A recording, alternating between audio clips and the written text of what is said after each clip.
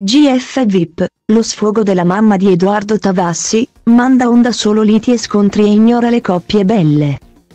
Nell'ultima puntata del GF VIP sono andate in onda diverse liti tra i concorrenti, chi litiga per amore. Chi perché non sopporta più i suoi coinquilini e chi per le nomination. C'è però chi tutto questo odio non lo sopporta più. La mamma di Edoardo Tavassi, Emanuela Fuina ha espresso il proprio pensiero su una delle sue ultime storie Instagram e molti fan del reality show si sono trovati d'accordo con lei.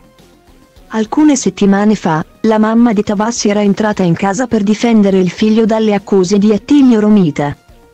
Quando va in onda una nuova puntata del GF VIP, la mamma di Edoardo Tavassi commenta tutto ciò che succede sul proprio profilo Instagram.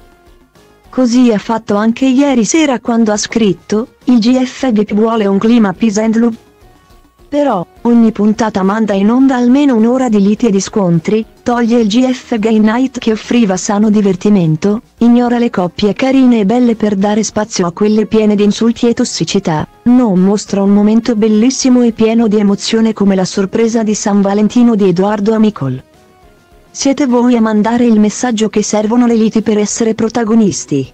Se volete un altro GF VIP, iniziate voi a cambiare.